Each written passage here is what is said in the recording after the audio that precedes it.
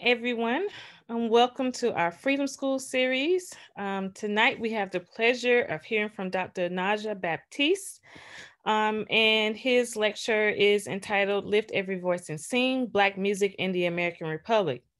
But before I introduce Najja, Dr. Baptist, I would like to thank, um, thank the Auburn Avenue Research Library for collaborating with the Department of Africana Studies at Georgia State University. This is our fourth semester of having these Freedom School lectures, and we plan to continue in the future. And so we definitely appreciate our relationship with Auburn Avenue um, Research Library and the ability to be able to broadcast these lectures on Black history, culture, and experience in life to the larger Atlanta public and to the larger national public. So thank you for joining us today. Today, I have the privilege of introducing my friend and colleague, Dr. Najja K. Baptist. Dr. Baptist is an assistant professor of political science at the University of Arkansas, Fayetteville. He earned his doctorate in political science from Harvard, Howard University, and he, his work has appeared in numerous journals, including the National Political Science Review, the Journal of Race and Ethnicity, and the Journal of Group Politics, Groups, and Identities, as well as many other outlets, including having a chapter in our book that just came out a week ago. And so he has a chapter in For the Culture on hip hop and um, Black activism. Dr. Baptist's work is primarily focused on Black politics, social movements, culture, political behavior, public opinion, and mass media in the United States. His project examines how the current president engages with Congress members, specifically looking at Southern Congressional Black Caucus women of color. He is also a two-time NSF grant awardee. Um, and not only has he received grants and he's talking about his publications, he's also uh, now is looking to produce his own book. And so thank you again and welcome to Dr. Baptist. And so Najja is a real good friend. We got past the formal part, I can tell you all. He's one of the bros. And so he is a real good friend. And we actually met for the first time when Najja was a graduate student and we were doing AP grading. So we spent a lot of time together in Daytona and then later Utah um, doing AP grading and we became really good friends. And at the time, Najja was actually looking more specifically at hip hop. So we had um, that commonality his work has expanded beyond hip hop now, and you get to hear not only his discussion of hip hop, but looking at other forms of Black music and culture. So, Najja, Dr. Baptist, I will turn it over to you. Welcome, welcome, and thank you for joining us. Thank you, Dr. Bonnette Bailey and the Auburn Avenue Research Library. It is indeed an honor to be here this evening. Um, as Dr. Bonnette Bailey has said, I've known her for quite some time. Um, but it's always an honor to um, present my research. Uh, she kind of lays the foundation with her book, Pulse of the People. I don't know if you have read it or if you have it, but go buy it. Uh, also, I I use it currently in my Black music and Black ideology course. I hope I can get to come in and talk. Maybe that's a shameless plug. But uh, um, it is indeed an honor to be here this evening. And so, without further ado, I'm going to start my slides so y'all bear with the old man while I try to share.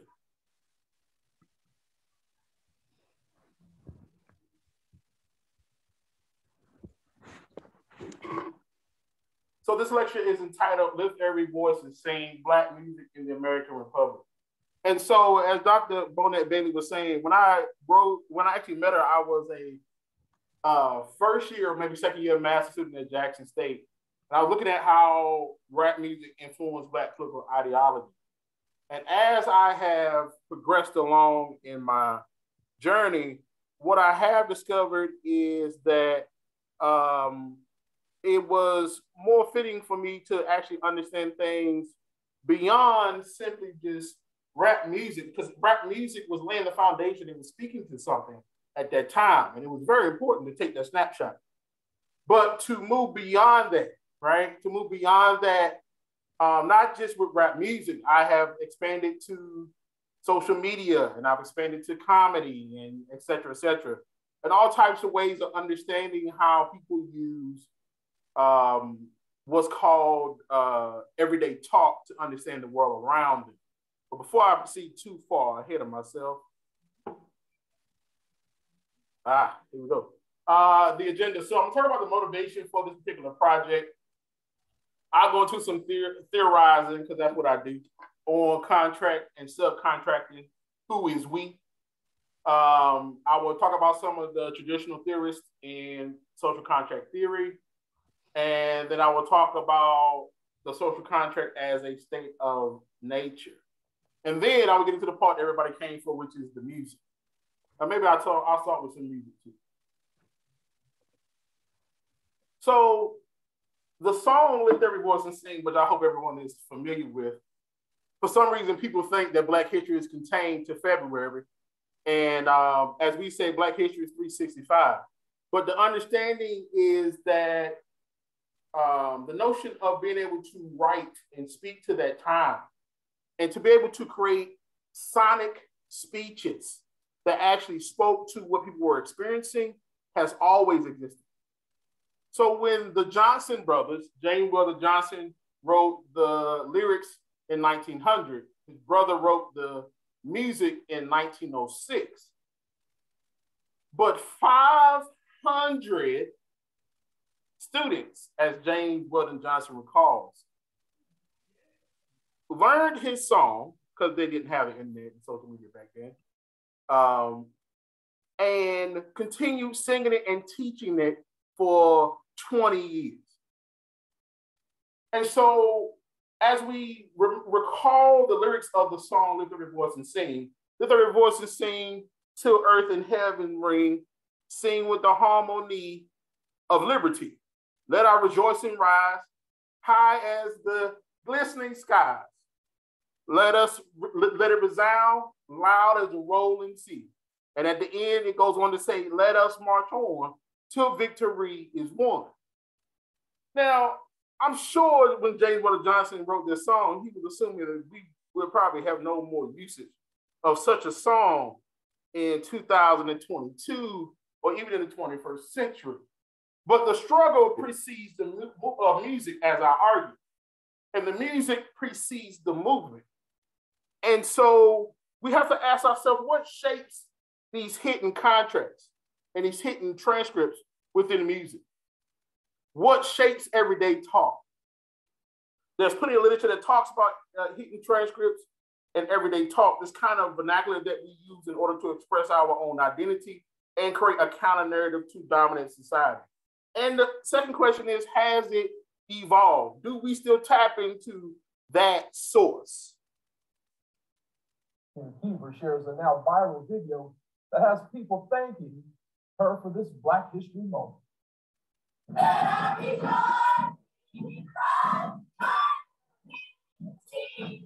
Um, I recently started Twitter last year, so I was like, okay, you know, let me just go ahead and share it. And I shared it, and it got a lot of love from people who have never seen that video before. And you know, it really impacted people. I had some people who wrote me and said, "Man, this video really moved me to tears." You may already know Nadine Every for some of her viral classroom moments, but this one shot back in 2018 is putting her back in the spotlight as a star educator. Anybody who, who has been following my classes over the years know that specific class really loved to sing and dance and rap.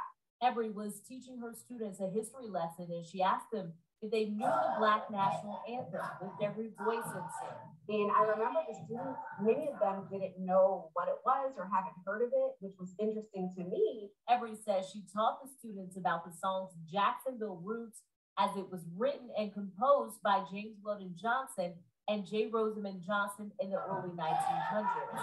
In their voices, we hear power. It's one history lesson Every says she hopes the students will carry with them throughout their lives. I'm just seeing, you know, students singing a song of triumph and they seem so happy and, you know, just not feeling defeated during Black History Month, uh, but feeling, you know, empowered. And that's what that song is about. It really helps us to feel empowered. Destiny, keep your first news on your side. So this song of resilience, this song of freedom, this cry for freedom is not new to us. It's true to us. Uh, we even heard this song sang right before the Super Bowl in a ceremonial act by the NFL with Mary Mary. But the question came in as to why was it so controversial to hear the song or to sing the song, lift every voice and sing? Or was it controversial because it was a Black national anthem? Or was it controversial because America has yet to come to terms with the experiences and the struggles, and dare I say, the troubles of Black America? So, as Du Bois argued many years ago, the, the, the problem of the color line is the problem of the 20th century. This color line problem has not ceased to exist. Uh, Twitter went into an outrage over it, saying that it was divisive to sing a Black national anthem, as if there is no more need for these sort of things. Um, in the word of the poet laureate uh, Curtis Mayfield, we're still trying to get over it. So the notion of this presentation is based on three main understandings and concepts. And my students who are on this probably already know what I'm about to say here.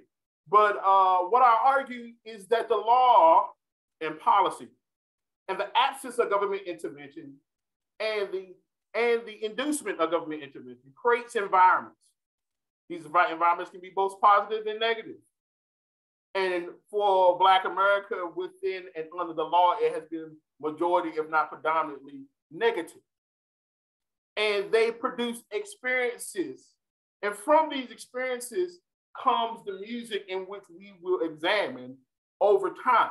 And so we will go through different eras of music to actually listen to the cry of that time of Black America under the American law and under the social contract. So the Black American experience, both macro and micro. So we can look at it from both the systemic level and the individual level. But what we're seeing is public and private actions interfering with our lived experience because we're supposed to be in a country where we're supposed to be free. So, what does freedom look like? Right? As Assata Shakur once said, freedom is the right to live, the right to grow. But you're asking me about freedom, and perhaps we've never been free. Because if you suffer, are you free? So I, I, use this in my classes as well, and I always critique this timeline because it's historically inaccurate because it doesn't include the Reconstruction period and several other periods. But uh, if we were simply talking about the different eras in which we've been under um, this regulatory and administrative tool called the law to help maintain the status quo.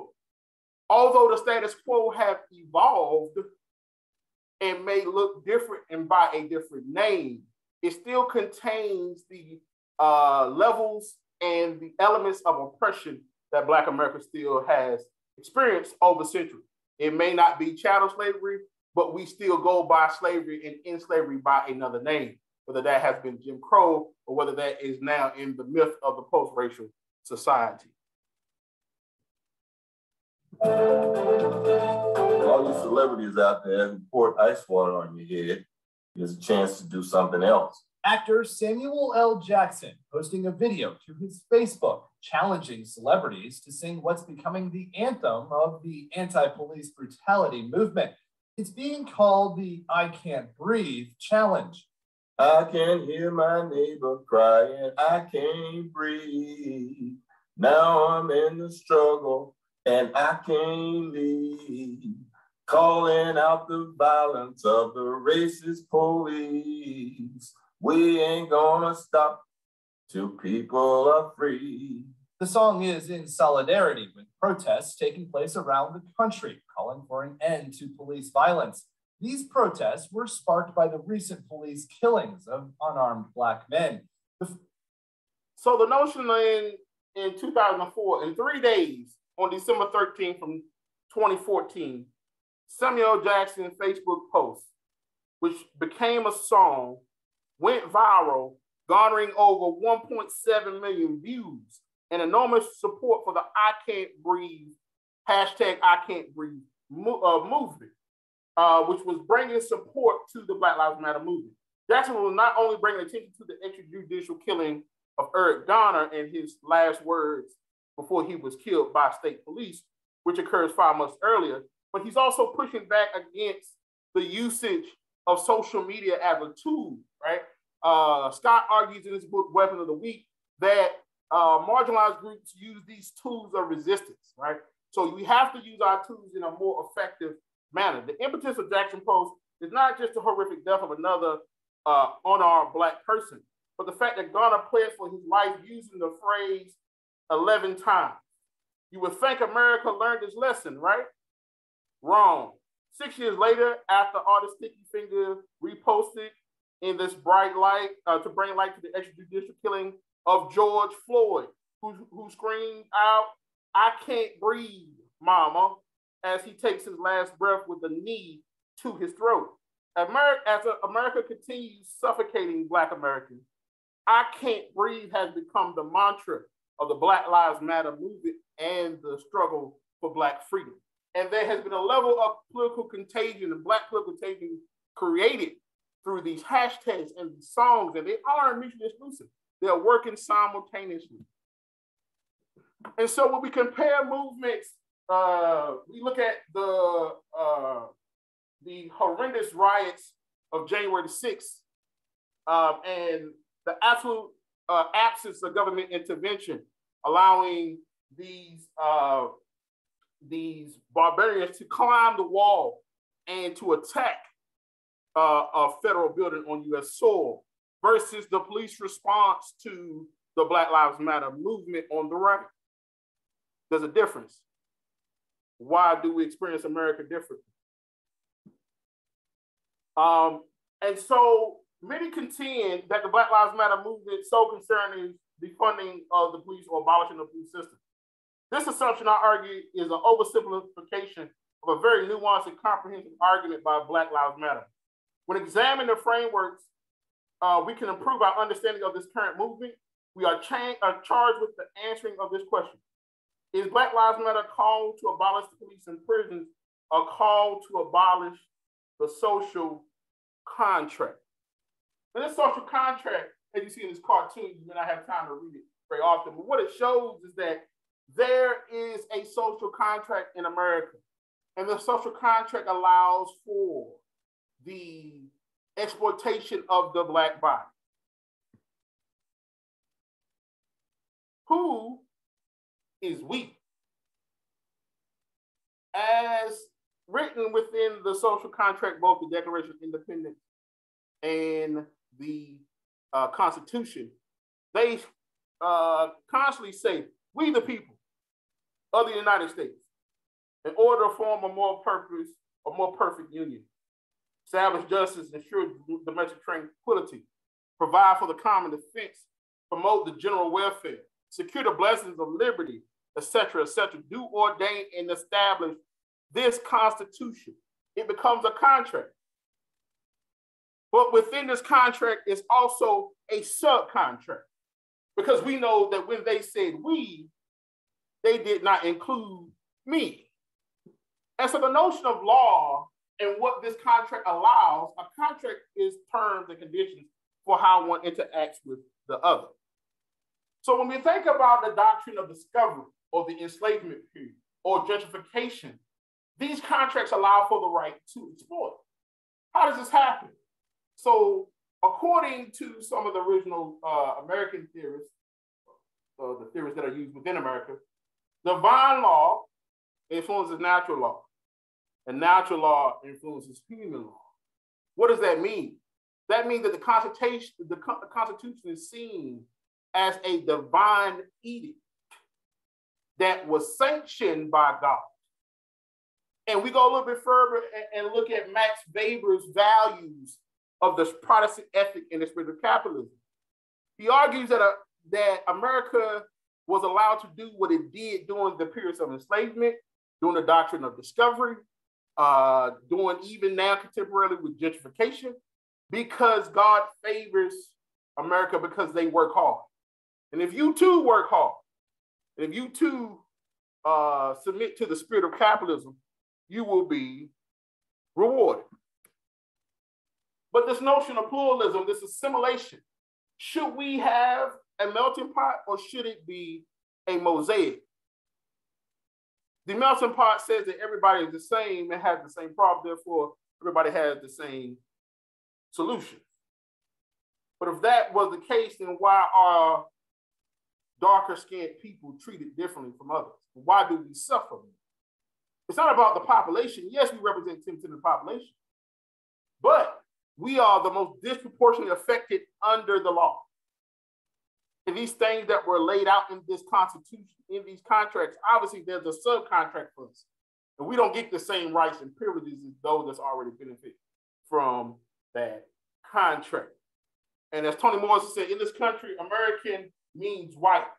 Everybody else has to hyphenate, meaning that we are forced to assimilate, either assimilate or be outcast as a group that is seen as un-American. And by assimilation, it is a forced form of seasoning, uh, as you've seen during slavery. So the notion lies here. The cause for the abolishment of the police is citizen forcing the system to intervene on itself and distribute funds in a manner which most disproportionately affected citizens see fit. The dismantling of the social contract is to abolish forces that seek to maintain the white cisgender heteropatriarchal status quo. And so the status quo is the law. And so we assume, many of us assume, all of us have assumed at some point, that these inalienable rights of which they speak of, this life, liberty, and property, was something that we all would benefit from. But in reality, what we have discovered is that every time we have tried to go and cash this check, this guarantees to try to partake in this social contract, that we end up short. When the architects of our republic wrote the magnificent words of the Constitution and the Declaration of Independence. They were signing a promissory note to which every American was to fall heir. This note was a promise that all men, yes, black men as well as white men, would be guaranteed the unalienable rights of life, liberty, and the pursuit of happiness. It is obvious today that America has defaulted on this promissory note insofar as her citizens of color are concerned. Instead of honoring this sacred obligation, America has given the Negro people a bad check, a check which has come back marked insufficient funds. So when we think about the notion of the contract, perhaps Dr. King uh, may think of it now in the form of consent as to why he could not get those funds from that constitution. Uh, Locke, Rawls, Nozick, uh, they all argue that we come out of this state of nature and we enter into this formal society. You can't call it civil, and in the society, we are supposed to be given guarantees that help. We give up certain securities for certain freedoms. Rousseau, uh, Pateman, and Mills argue that what that essentially creates is a social contract. And within that social contract, because they say we the people, they intentionally exclude Black people, Native American people. They exclude, essentially exclude women. They essentially exclude uh, disabled folks, poor folks, etc., etc. That it only included white Anglo-Saxon Protestant property owners. And this comparison highlights what many consider what is just. So they also get to define and incubate the American system with what they think is just. They get to write the laws around their values and ideas and values influences ideology, and ideology influences action. And just is merely justifying the actions of the state as legal. Since only white Anglo-Saxon uh, Protestant property owners gave express consent with the signing of the Constitution, The assumption is that everyone else gave tacit consent. Put differently, they consent to a subcontract, sexual, racial, and many other contracts, accepting America under the subcontract as is, allowing and for their domination and oppression. And so that means that when marginalized groups, when Black America asks for certain things, uh, political scientists know that we understand that uh, systems theory is simple. Demands from citizens go into the system. They're supposed to be processed. Policy and law comes out, and there's a feedback loop in theory. But in practice, whenever Black America asks for things or create things as a function of being deprived of access to things, and these things, what are we talking about? Politics is defined as an authoritative allocation of values and resources. Who gets what? Or as I say, who don't get what? So when Black America asks for their own holidays, such as the MLK holiday, it takes 15 years from the time of the government assassination of Martin King for it to pass. And it still becomes controversial to the point that in some states it wasn't accepted until the late, uh, early ni- uh, 1990s. We asked for a Juneteenth holiday. We're seen as divisive. We create HBCUs because we are not allowed, and we're not allowed, to attend HWCUs. And even to this day, as a recent, we are still suffering from inadequate funding, uh, according to Ayers Fordice, and we're still facing bomb threats. And the question then is why can't we have a black woman president? Why is it such so controversial to have a black woman Supreme Court justice? Where does the controversy come from? Someone defines what American means. And politics plays out on that ground and that playground of culture. It defines how we dress, how we walk, how we talk, what we eat, where we should live, and how we should be. What it means to be a Black American is already defined for us. And it is reinforced generation after generation after generation. So, just so we're clear on this chart again, we have simply gone from de jure segregation to de facto, which means that we never change and re-socialized America's norms. It still behaves in a way that treats those that are considered beyond the American identity deficient, and they are stamped with this from their birth.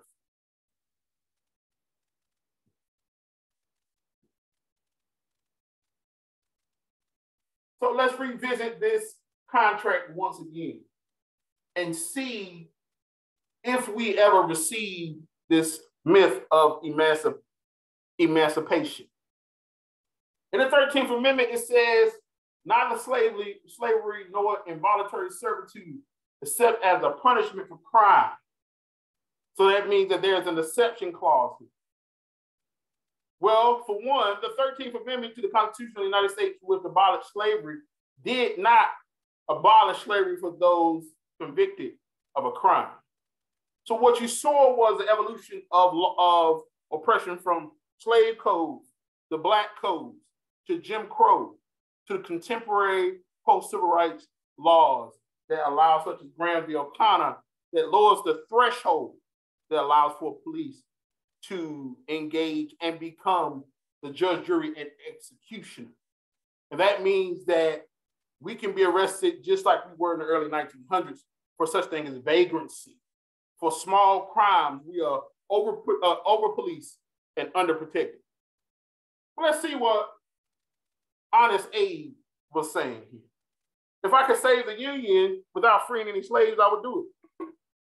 If I could uh, save it by freeing all the slaves, I would do it. If I could save it by freeing some and leaving others alone, I would also do that.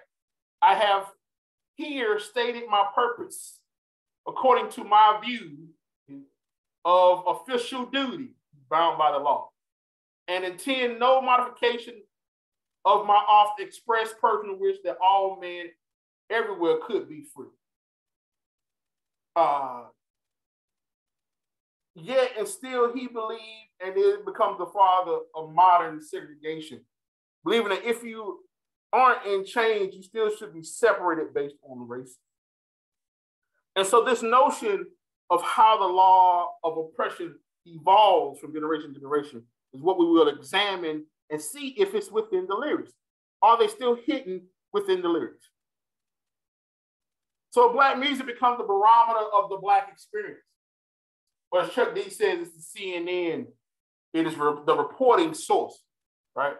And their bellows and their echoes within every generation a cry for freedom. This song, Soon I Will Be Done, was written way before the 1960s and used during slavery, but it harkens to the spirituals of that time.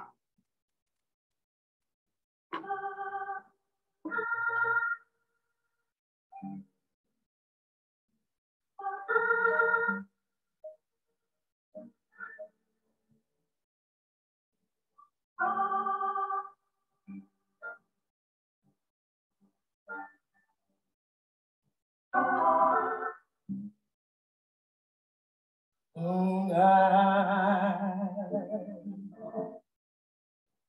will be done with the trouble of this world.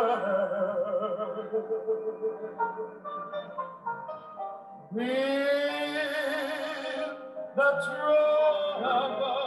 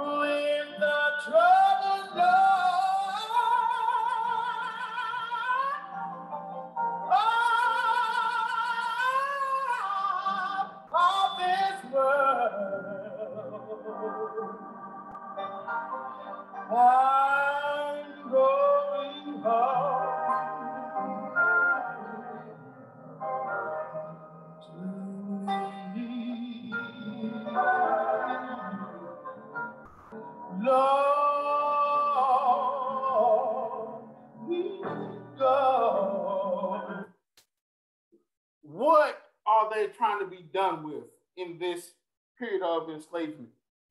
The law at this time was that the black body only represented three fourths of a person and could only be considered property.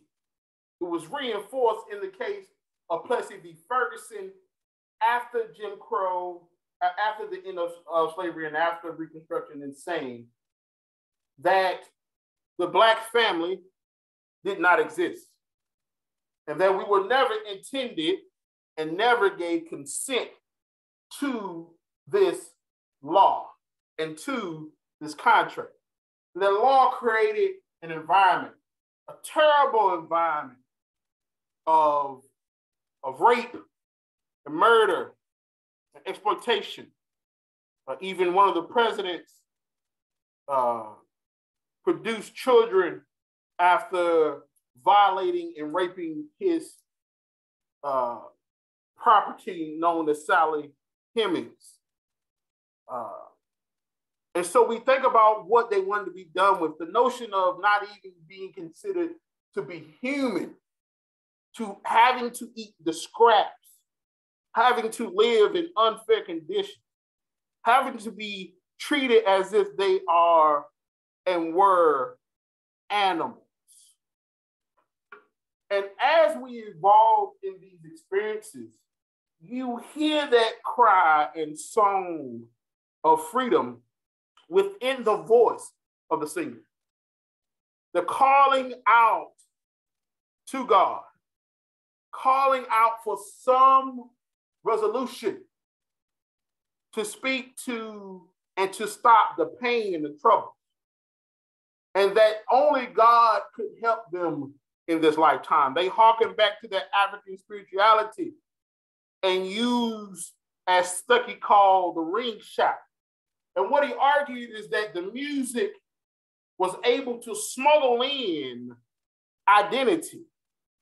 So it was a self fulfilling prophecy that when dominant America did not allow Black Americans to uh, to engage in their religious practices, that they would be allowed to do whatever they wanted to do in their own time. As Malik Shabazz argued, Sunday morning is the most segregated hour in America. And in doing so, we produce these spaces, these spheres of influence and identity to safely deploy who we were and in turn empower ourselves to do more. And so as we progress along from 1500s and we're speeding along into the early 1900s, and we think about what the law is at that time, the status quo started to be reinforced after 1877, the Hayes Compromise allowing the states to start to reproduce itself.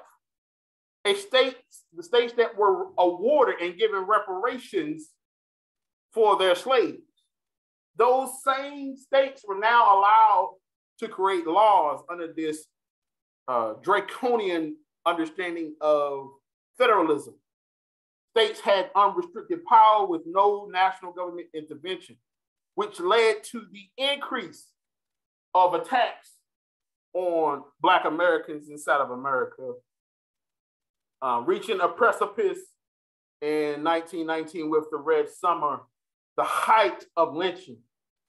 And this, these laws of the absence of government, the state of nature created an environment that made American citizens feel that they had no recourse and there was no recourse for their actions. And they could operate uninhibitedly on Black Americans as they once did in the enslavement period.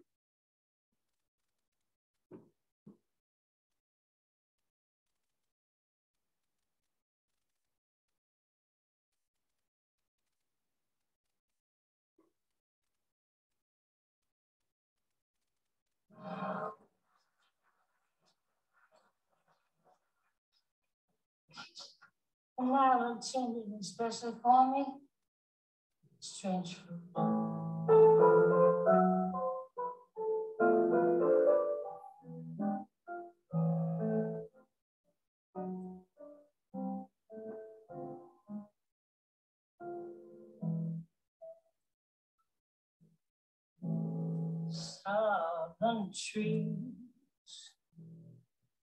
Strange fruit. Blood on the leaves and blood at the root. Black bodies swimming in the southern breeze. Strange fruit hanging from the poplar trees.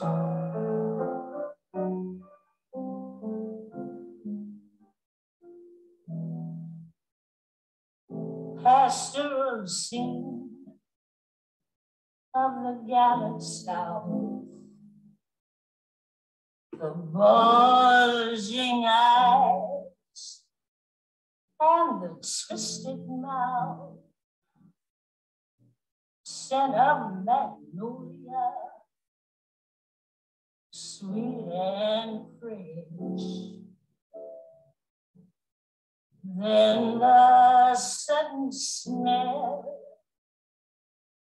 of burning flesh. Here is a fruit for the crows to pluck, for the rain to gather,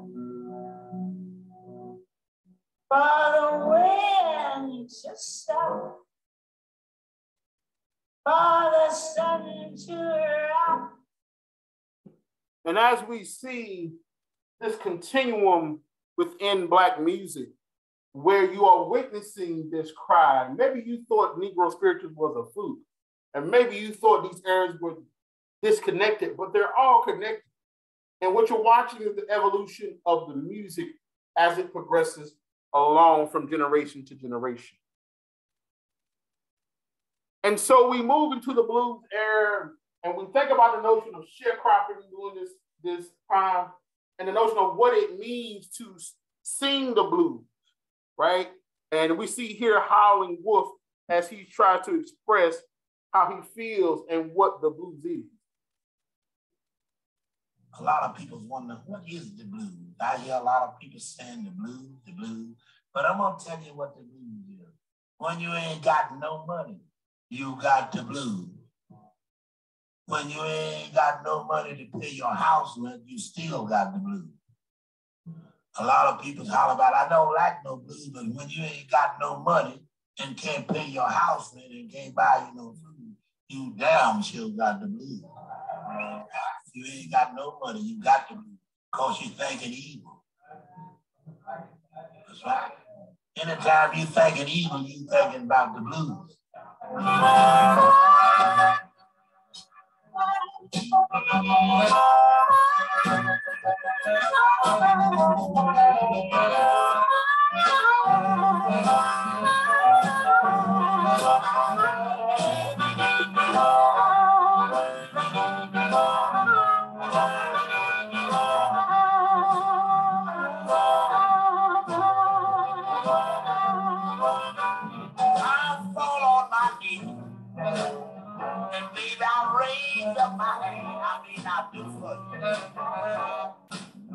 I fall on my knees and I raise. I feel better you understand. You won't listen to. And so what we're seeing now is that this politics of deprivation, this depriving of access to these values and resources of American society still plagues Black America even in the 50s and 60s. But what about some of the other experiences that we may have?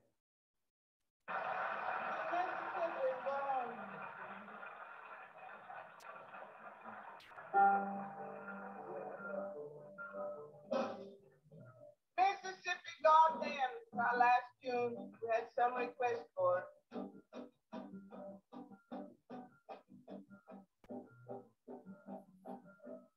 Alabama's got me so upset. Tennessee made me lose my.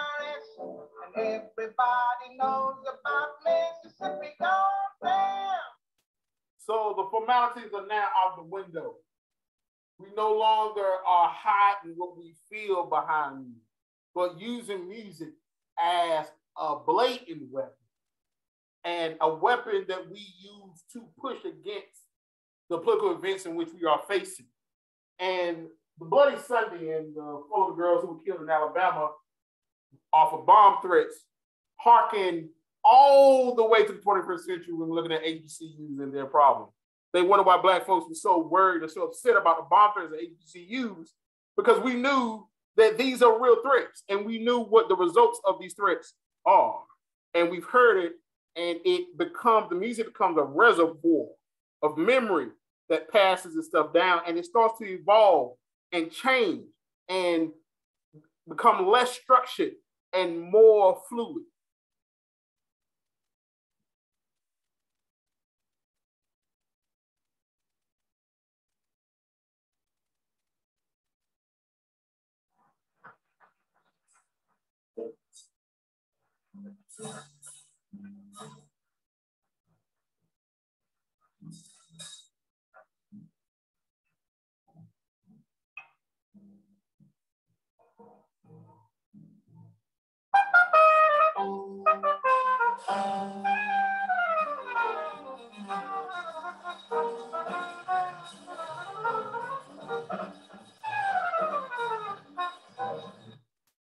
What we start to witness is the notion of self-reliance, self-help, and the self-determination now being weaponized in the civil rights and post-civil rights era. And so we no longer use the lyrics, we're using static. We're using whatever that at our disposal, and we're no longer using structured notes that sound pleasant to some, but it, it sounds terrible to others. But who it sounds pleasant to is us, and the bebopping begins. Like, you know, if I know that in this hotel room they have food every day, and I'm knocking the door every day to eat, and they tell, they open the door, let me see the party, let me see like they're throwing salami all over the house. I mean, it's like throwing food around. They're telling me there's no food. You know what I'm saying? Every day, I'm standing outside trying to sing my way in. You know what I'm saying? We are please let us in. We are please let us in. After about a week, that song was gonna change. The we hungry, we need some food. After two, three weeks, it's like, you know, give me on the food, out the door. After a year, you just like, you know what I'm saying? I'm picking the lock, coming through the door, blasting, you know what I'm saying? It's like you hungry, you reached your level, don't want anymore. We asked 10 years ago. We was asking with the parents. We was asking with them, you know, the civil rights movement. We was asking, you know, now, those people that were asking, they're all dead in jail. So now what do you think we're gonna? Ask. Hip hop comes and takes up the mission that was laid out by bebop and starts to evolve black music.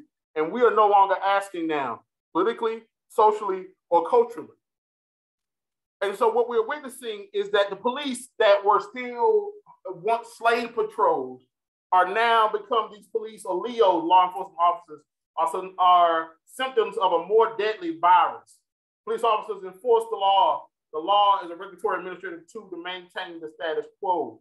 And we are certain that this state repression via policing, broken windows, zero tolerance, being out of blocks, is fulfilling the, the social contract by preserving property through law and order. Check your eye while you're checking out the boom box. Check the exercise. Check the word overseer. Back a sample. Repeat it very quickly in a true point sample. Overseer. Overseer. Overseer. Overseer. Officer. Officer. Officer. Officer. Yeah, officer from overseer. You need a little clarity. Check the similarity. The overseer rode around the plantation. The officer is a patrolling annihilation. The overseer can stop you what you're doing. The officer will pull you over just when he's pursuing. The overseer had the right to get killed. And if you're them, the overseer had the right to kill. The officer has the right to arrest. And if you fight back, they put a hole in your chest. They both ride horses. After 400 years, I've got no choices. The police don't have a little gun. So when I'm on the streets, I walk around with a bigger one. I hear it all day. Just so they can run the light and be upon their way. More things change, the more they stay the same. And these Negro spirituals, these Black national anthems have evolved from uh, Lift Every Voice and Sing to We Gonna Be All Right. Gon' be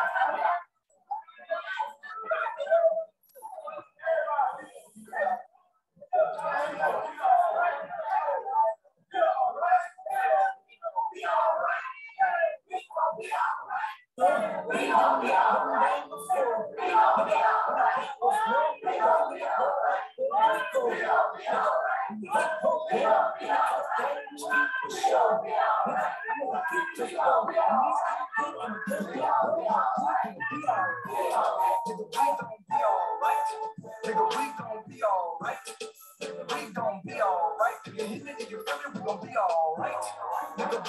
be alright.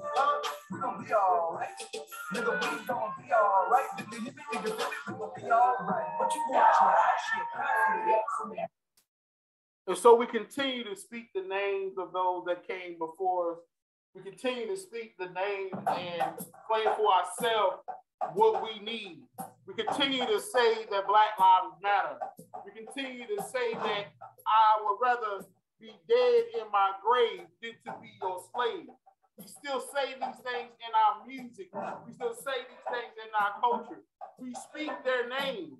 We say their name, and we continue to define our destiny. Thank you, ladies and gentlemen. Thank you for this opportunity. I really appreciate it.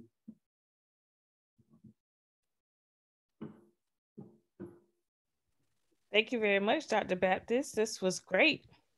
Um, I will ask the audience that if you have any questions, could you please put them in the chat or the Q&A, Q&A box?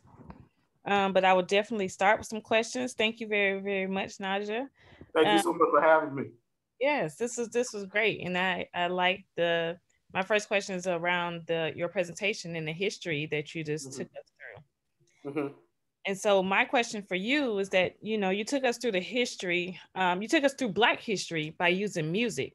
Is there any particular genre that stands out to you, or that you think was more political than another? Mm. Ah, well, I mean, I would have to use your criteria for what is a political song, right? Uh, as I tell my students, um, more political? No. Um, it was interesting because I was working on a piece, and um, a reviewer said that because I had started writing about um, uh, Cardi B and Meg The Stallion song, uh, "WAP." Yeah. and how it's being used, right? So I think the notion, I think what I'm trying to argue is that the notion of what we think is political has evolved too, right? So even though it may not explicitly talk about, have a reference to somebody or someone, it can still be used as a political tool. And uh, we saw that with protesters outside of the White House um, heckling uh, 45 with um, Cardi B and Meg The Stallion song. So in a certain area, I don't, I don't think, I, I think it's all political. I think it is, I think it becomes more intense as time goes on. I think we build generation by generation, and it may become more explicit, right? It may become more explicit, but it's, it's, I think it's all political because the notion of uh, resisting, even if it's um, latent, even if, if it's implicit, right? The notion of even, you know, black folks even daring to sing songs or think about Harriet Tubman coming onto the slave plantation singing songs so people can know she was there and singing songs when she leaves. Or uh, having songs that function as GPS, as we call GPS today, or Google Maps, right? That was radical, uh, you know, and that could cost you your life. Um, and so, as we understand, almost everything is political, right? And I think each generation, as Fanon argues, discovers its mission, fulfill it, or betray it. And so, what becomes political in the 21st century is radically different from what was political in the uh, enslavement period or in Jim Crow, et cetera, et cetera. But it, it, I think one lays the foundation for the other, and then we start to become more, especially we have a little bit more freedom. We become bolder as the generation goes on. Yeah, see, I didn't know anything about the um them singing WAP outside of the White House. Oh yeah, Um, yeah. That that sounds like good paper. We need to talk about that offline because I, I can. yeah, yeah. I mean, I mean, I mean, you, you, you begin the conversation. You actually expand the conversation around Black feminism, right? Uh. Melissa Harris Perry, uh, Melissa Harris Perry, yeah, talks about in, in her book Barbershop Bibles and BET. She starts the Black feminism stuff. Well, I think what you show is that it can influence attitudes as well. But think about just the the notion of what we're, we're thinking about of how we're starting to disaggregate political and freedoms now, political freedoms in the form of sexual autonomy. Yeah. And so that was my, so I had my own thoughts on WAP. I was thinking about writing a paper too, but mine was more so dealing with this idea of sexual autonomy, as well as this idea of bringing forth information as far as um, talking about, you know, even them having discussions about their vaginas being wet. You Yes. know, um, it allowed Black women and it, it provided a space for women to talk about when their vaginas are not that wet and what's going on there, right? And it's a taboo thing in the Black community to really talk about your body and express it. Mm-hmm. And so we're talking about a type of freedom, a liberation of having discussions, uh, sister girls discussions about your body. So that was my perspective. So I think I think we can combine the combine both of them. We have to talk. Um, Okay, about- that's- I mean, I, I think that's a great point too, right? This idea of uh, advanced marginalization, right? So we're basically reproducing our own oppression because the goal is always to appeal to the moral dilemma. So that's why I say each generation finds its own mission because the generation that was before them found their mission, they did a little bit. So when you listen to scatting, it's the same thing as listening to mumble rap, right? The idea of mumble rap is the same thing as scatting because essentially the notion is that the generation is speaking to where they are, but you have a little bit more freedoms, right? So you're building on that. And so when you get to Cardi B, who's you know a Puerto Rican uh, bilingual uh, rapper, and then you get Meg the Stallion from the South, and how underplayed the South is within hip hop and rap music and black music, it speaks to um, a meta free of freedom, a meta liberation, even within our own circles, uh, expanding the boundaries, expanding it even further. Because now you have to think about it in terms of uh, women getting to define what they want based on their sexuality. And while the country starts to de- devolve, the music keeps evolving. Yes. So with that, so the first question actually was about genres. Did you think any genre was more political? But I want to know, do you think that there was um, a time in Black history where there was the creation of more political music than any other time? So was there a specific era that stands out to you that it was that more political music was created? I, I I mean, I think more or less, I'm trying to quantify it would be hard, right?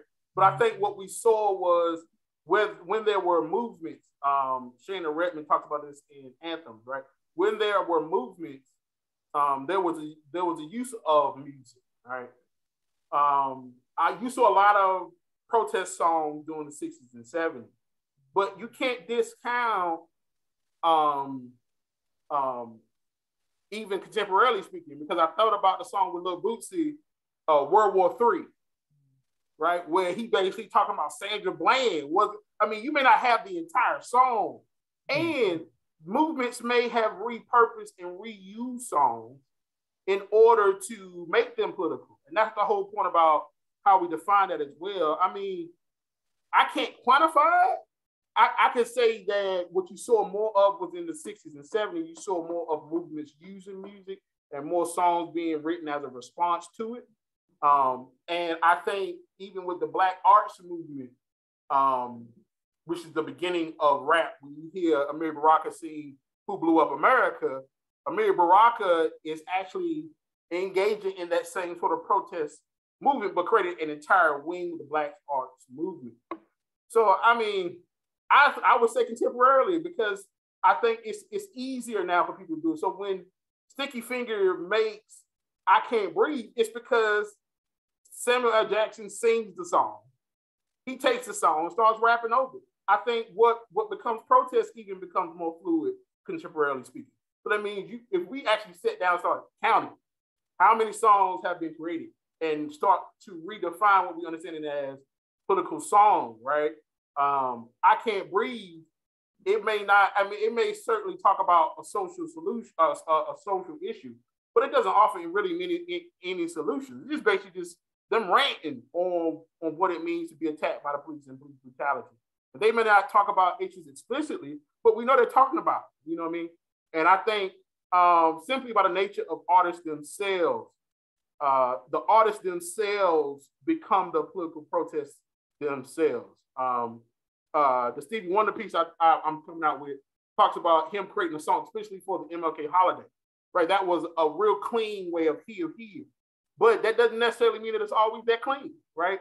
I think the notion of any song, really, if you're using it within a space, the artist can claim, hey, this is political for, for certain re- reasons. Art is subjective, I think.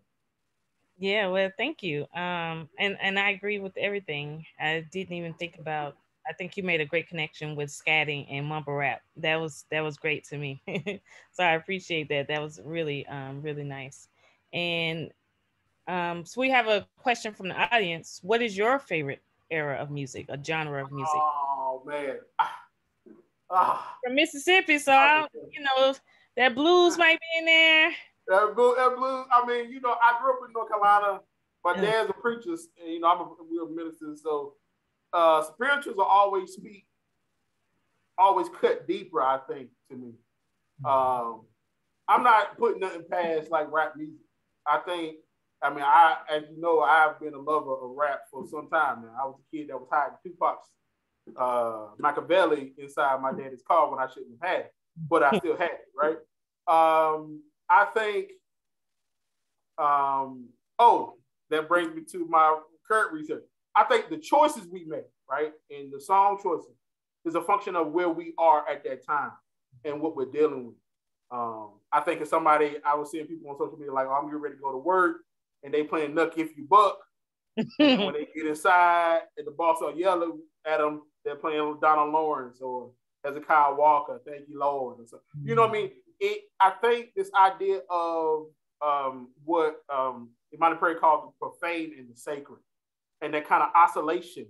Uh, it's just just an oscillation, and you know, based on where I am and, and what I'm dealing with, and who I am at the time. So what I listened to when I was in my twenties, nothing but rap, and probably nothing but underground rap. Right? Uh, I got a I got a Neo uh, Gucci. I got to shout out Gucci two times. But Gucci was the one that turned me on to Alan Ladd was the one that turned turned me on to um, Big K.R.I.T. and you know all these folks. I was in I was in Mississippi and never heard of Big K.R.I.T. before that, right? And so the notion of him and the notion of how we seek out music that speaks to our sensibilities and what we are feeling at that time will be in my forthcoming book. my forthcoming book. But that's the whole point, right? So our choices, uh, we can't look at somebody and tell who they are, conservative, liberal, etc., etc. But we can tell who they are based on their, their choices. And um, you know, we as coders and academics can code the songs, but they can choose the songs. And by giving people the freedom of just choosing what songs speak to you, what feel, I mean, the feeling you have inside, what what is it tapping into, right? Uh, I don't have a favorite because I love all of them. I'm the type of dude that back in the day when we had, uh, I don't know if y'all remember Napster. I'm, I'm aging myself. When we used to have them playlists, I don't know if y'all remember, used to have them playlists with like 600 songs on it, and you could play it for six hours. I had everything on there, right?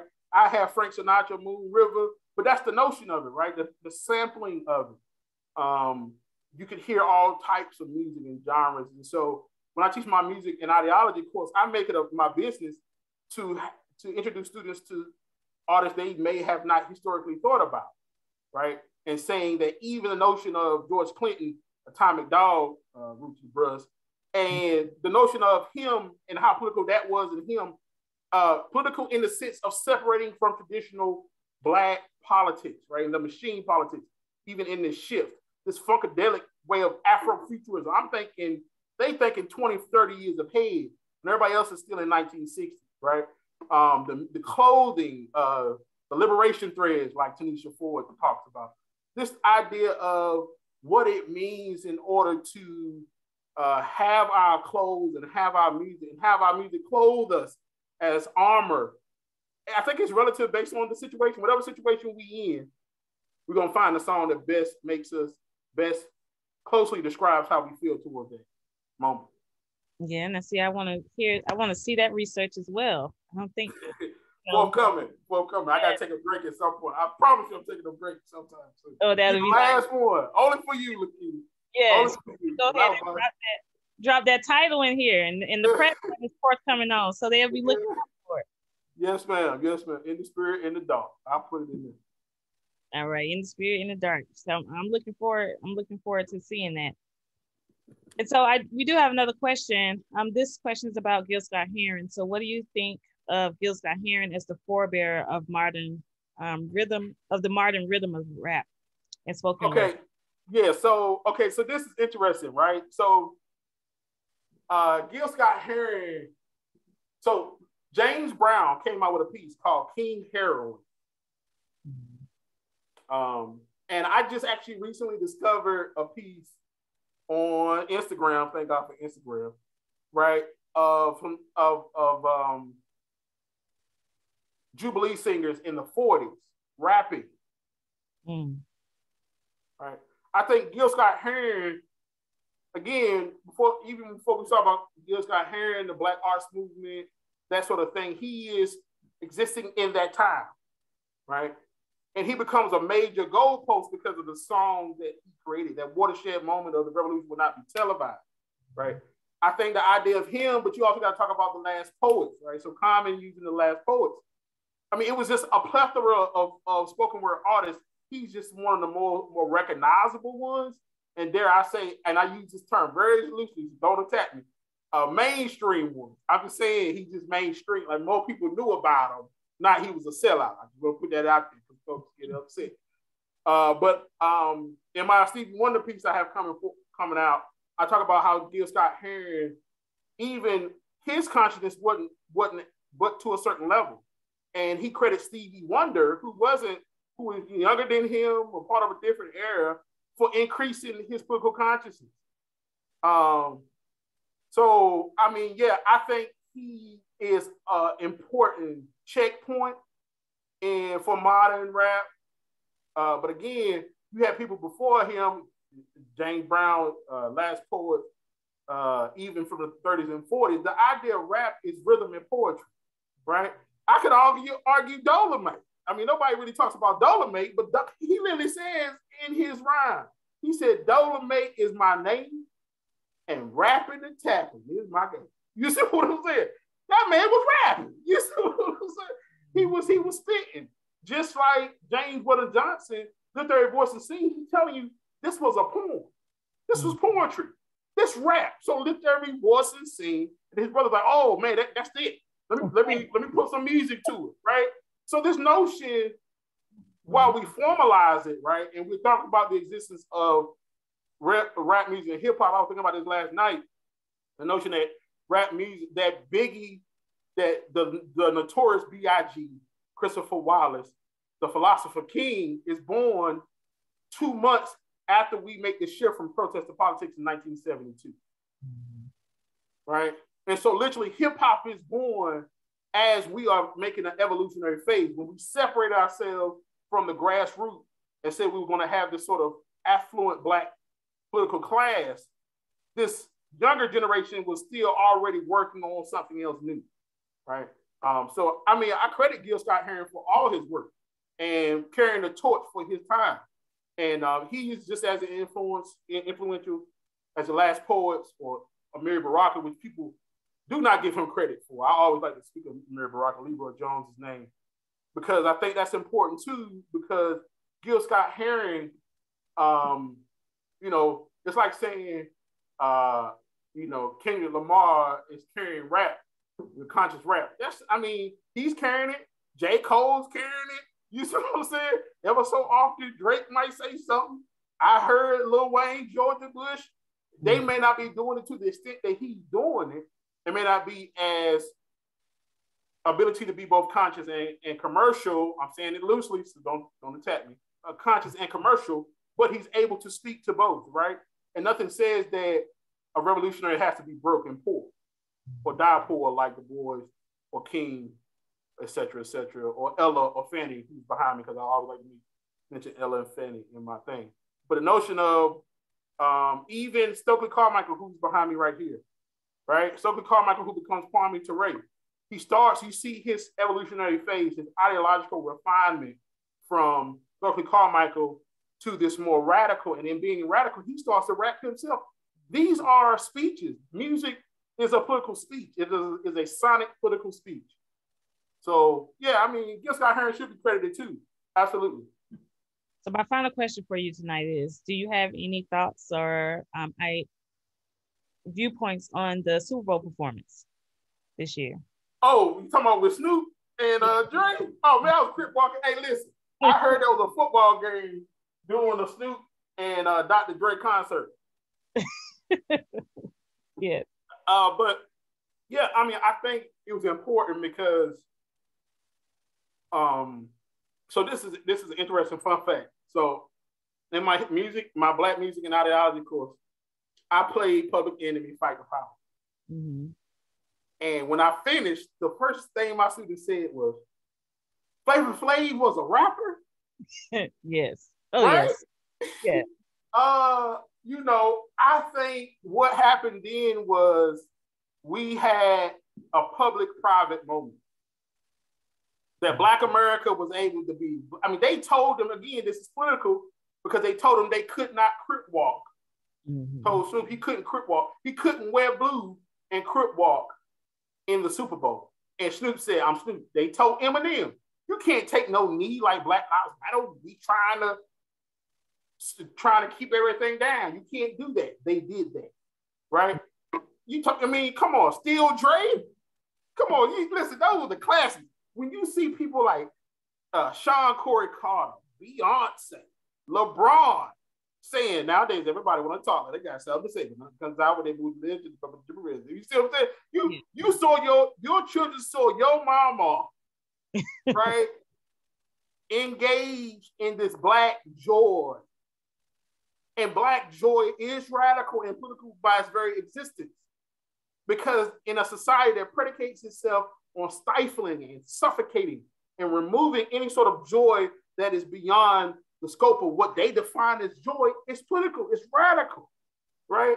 And I think that that halftime show allow all of us, allow all of us, and allow our kids to see, listen, we had rap too. Now you see what we, we talking about. Mama Crip walking across the front room, daddy in there leaning, everybody doing it, right? Uh, spitting songs verbatim, and Mary J showing the idea of it's not just rap music, it's R&B, it's black music. It's black music of freedom, and that we have been intertwining this stuff a long time, and that there's nothing new really under the sun. I mean, I man, I listen. I was there for the commercials and the Super Bowl. That's the only two reasons why I really stayed on for real. Um, but I enjoyed it. Um, I really, really enjoyed it, and I really thought it was important, important moment for redefining new spaces, right? Um, the fact that Jay Z even fought to have them on the Super Bowl, right? Um, and kind of uh, what does it mean now for someone to be um, a black millionaire, right? In the sense of Madam C.J. Walker, et cetera, et cetera. But you're still engaging in activist work, or as I called it in one of my papers, hip hoptivism. The notion of you using your space now, the culture as a way to create old and new spaces. And so now, because of the the turnout for the Super Bowl, you can imagine, right? You can imagine. But the notion is, you know, I'm going to say this at the end of my presentation. But the notion is, if we are to ever head towards a more perfect union, it's going to require the fact of the union realizing that we get to define what it means to be black. That blackness has always been predefined for us and that in our music and in our songs and what we wear, it does not make us de- uh, deficient. We're just different. We're just different, and we need to be heard. If you don't hear us, if you don't hear us, then you then the consequences is you will hear us one way or another. Because as Kendrick Lamar said, listen, I'm either at the preacher's door or my gun about to blow. It's either the ballot or the bullet. Your choice, America. Or as um, Wu Tang says, I even got this 22 or this blunt. One of them. Which one you want? Yes. Uh, uh, uh, uh, uh, uh, tapping ashes on the on the Bible. I, I brush it off and they fall on the rifle. That's that's Wayne. You know what I mean? But they, they people are the the the the movement, the spirit precedes the movement. They're telling you, the music is telling you, this is where we are, right? This is how far we've come. This is the point we're at right now. And if you don't listen, okay, it's gonna keep going. It's gonna keep. It's, listen, I don't know how much longer. It's gonna keep saying the same thing. Like Tupac said, we kept we kept knocking, we keep we kept singing, we we've been rapping, we didn't did it all, and you know they you know like Pac said, people love to scream peace after they start some stuff. You like starting stuff, but you but we gonna end it. That's just what it is. But thank you very much, Dr. Baptist. Thank, thank you. Our time. This was brilliant. I am so, so happy that this is one of our final Freedom Schools because you're helping to close us out for the semester. And so this was um, brilliant. Again, look for his book to come out with a New York University Press in the Spirit in the Dark, where he will go into more details about this relationship between um, Black politics and Black music.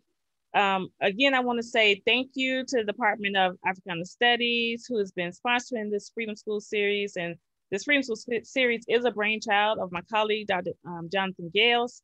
This was his idea, and he put me in charge of it, but this was solely his idea. And I actually like the image you have behind you, Dr. Baptist, because this, this whole idea of Freedom School comes out of that civil rights movement and was used for political education. And that's what we're trying to continue um, with our series now is to um, educate the community on all aspects of Black culture, Black life, and Black experience as, as possible.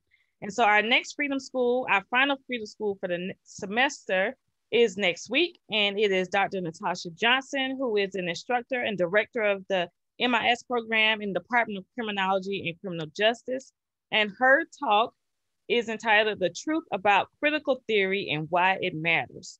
And so she wanted to express expressly make the point to not say critical race theory because she's going to talk about all the critical theories um, and the impact that they're having and the conversations around them. So definitely tune in for that talk on next Wednesday at 7:15 p.m. Um, yes, and we'll continue that conversation there. To close out, I would like to thank Auburn Avenue Research Library again for collaborating with us and being a partner in this Freedom School series and allowing us to reach the public and to have this type of public facing scholarship. Thank you and good night. Stay black, y'all. Thank y'all for coming out. God bless. Good night.